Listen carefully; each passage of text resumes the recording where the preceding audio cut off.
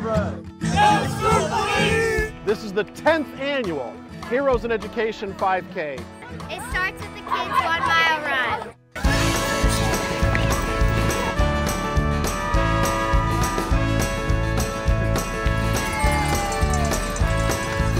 There's a 5K run walk through John Prince Park.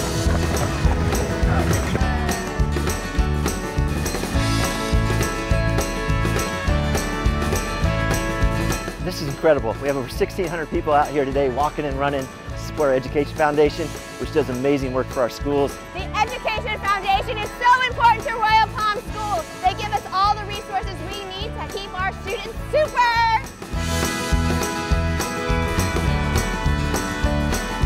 Palm Beach County comes together today to celebrate what is best. And what is best in Palm Beach County?